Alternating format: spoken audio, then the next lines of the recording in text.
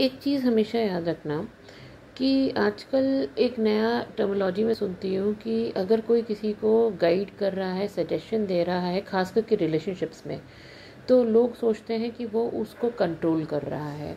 और ये हाल ही में मैंने कहीं पढ़ा भी, सुना भी कि नॉर्मली लड़कियों की साइकोलॉजी होती है कि अगर उसका वुड भी है या बॉयफ्रेंड है या जो भी इंसान है मेल पर्सन अगर वो उसको हेल्प करती है या गाइड करती है या सजेस्ट करती है या एडवाइस करती है, इसके लिए नहीं, क्योंकि वो उसको कम समझती है।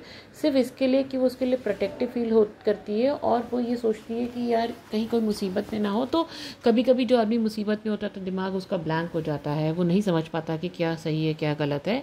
तो उसके लिए उसको आगे आगे से कि ये नहीं, ऐसे नहीं, ऐसे करना, ऐसे नहीं, ऐसे करना, जैसे कि माँ बाप अपने बच्चे को सलाह देते हैं।